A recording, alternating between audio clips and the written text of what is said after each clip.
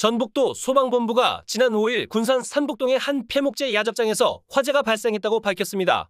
최초 신고는 5일 23시 53분에 인근 주민의 신고로 접수됐으며 군산 소방서 현장 도착 시 야적장 중앙부는 흰 연기가 다량 분출되고 있는 상황이었습니다.